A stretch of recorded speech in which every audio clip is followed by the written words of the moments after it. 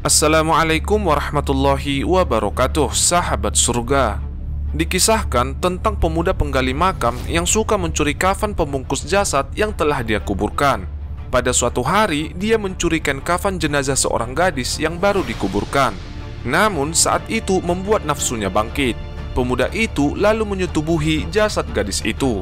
Hingga dia menyesali perbuatannya dan menangis di hadapan Rasulullah Bagaimana kisahnya, tonton video kami sampai habis. Namun sebelumnya, mohon dukungannya terhadap saluran kami. Mari bersama dalam menyebarkan kebaikan. Dikisahkan dalam kitab Mukasyafah Al-Qulub karangan Imam Ghazali. Di suatu hari, Sedina Umar Al-Khattab menghadap Rasulullah SAW sambil menangis. Jadi bertanyalah Rasulullah, Wahai Umar, apakah yang membuat engkau hingga menangis seperti ini? Jawab Umar, Ya Rasulullah, ada seorang di muka pintu ini yang sudah membakar hatiku. Berkata Rasulullah, Ya Umar, bawalah ia masuk. Lalu Umar membawa pemuda yang tengah menangis itu pun masuk. Bertanya Rasulullah, apakah yang sudah engkau kerjakan hingga engkau menangis? Pemuda itu menjawab, Wahai Rasulullah, saya telah lakukan dosa yang besar saya sangat takut pada Allah Subhanahu wa taala yang sangat murka kepadaku. Rasulullah bertanya, "Apakah Anda mempersekutukan Allah?" "Tidak ya Rasulullah." "Apakah Anda membunuh jiwa yang Anda tidak hak membunuhnya?" "Tidak ya Rasulullah." Allah akan mengampunkan dosa Anda meskipun sebesar tujuh petala langit dan bumi dan bukit-bukit. Wahai Rasulullah, saya sudah lakukan dosa yang lebih besar dari langit, bumi, dan bukit-bukitnya. Apakah dosamu itu semakin besar dari Al-Kursi? Tanya Rasulullah Dosaku lebih besar Apakah dosamu semakin besar dari Arsh? Dosaku semakin besar Apakah dosamu lebih besar dari maaf Allah?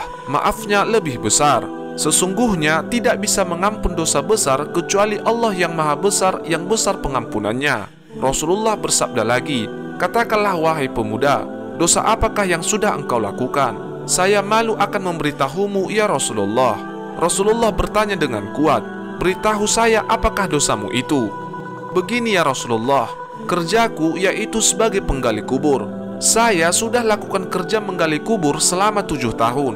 Di suatu hari saya menggali kubur seorang gadis dari kaum Ansor. Setelah saya menanggalkan kain kafannya Jadi saya tinggalkan ia. Tak jauh saya meninggalkannya. Jadi naiklah nafsuku oleh karena tidak bisa menahan nafsu, saya kembali pada mayat itu, lantas aku pun menyetubuhinya.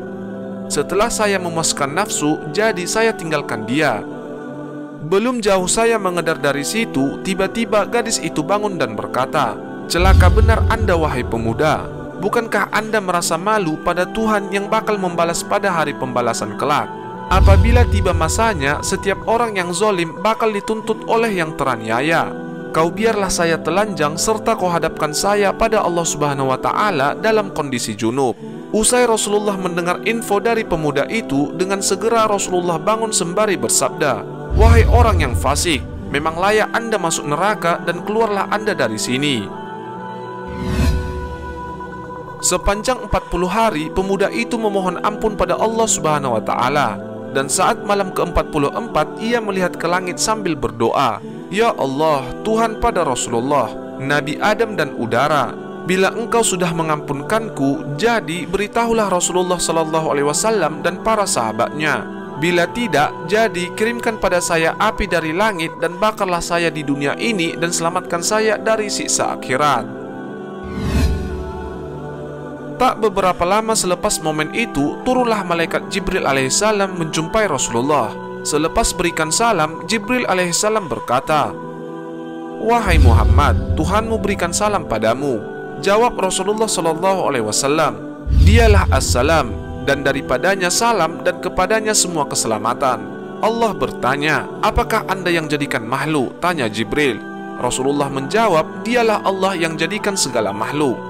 Adakah anda yang memberi rezeki pada makhluk? Dialah Allah yang memberi rezeki pada saya dan makhluk-makhluk yang lain. Apakah anda berikan taubat pada mereka? Dialah Allah yang terima taubat dariku dan mereka. Malaikat Jibril berkata, Allah berfirman, Maafkanlah hambaku itu karena saya sudah memaafkannya. Sahabat surga, Nabi pernah mengalami hal seperti itu dan langsung ditegur oleh Allah Subhanahu wa taala. Apalagi ketika kita yang mencela dan mengolok-olok mereka yang notabene suka berperilaku kasar, gemar mengerjakan dosa dan juga tak pernah beribadah. Ketahuilah bahwa mereka bisa saja bertobat dan memohon ampun kepada Allah Subhanahu wa taala. Dan ketika mereka telah berubah untuk tak lagi mendekati dosa, maka bisa jadi mereka lebih baik dari kita yang mengaku setiap hari berbuat kebaikan. Wallahu a'lam bissawaf. Wassalamualaikum warahmatullahi wabarakatuh.